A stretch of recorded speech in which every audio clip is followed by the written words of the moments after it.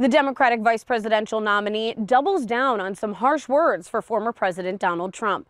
I'm Perry Apostolakos at Austin Straubel International Airport, where Tim Walz began his latest visit to Northeast Wisconsin.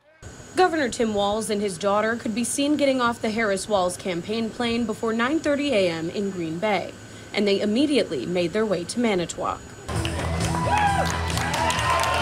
There, Marcos Alfaro, Secretary Treasurer of the Wisconsin AFL CIO Labor Union, introduced the Democratic vice presidential nominee at the Wisconsin Aluminum Foundry.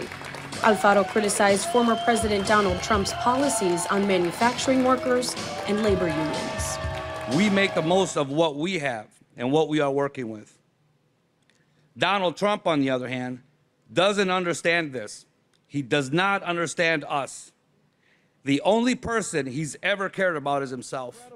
When Walz took the stage, he slammed Trump for a decline in manufacturing jobs during his presidency, blaming it in part on mismanagement of the COVID 19 pandemic.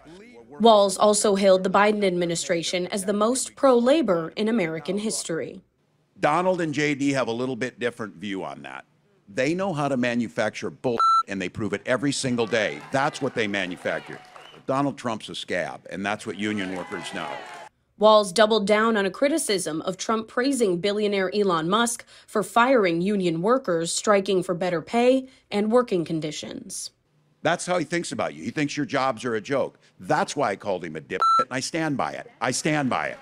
The Wisconsin GOP sent us a statement in response to Walz's visit, which reads in part Try as he may, Tim Walz cannot explain away or distract voters from the last four years of high inflation, open borders, and conflict overseas. He and Kamala Harris have nothing to offer but a repeat of the failed Biden administration. Walz boarded the plane again just a bit before noon to head to a campaign event in Waukesha. In Green Bay, Perry Apostolakos, NBC 26.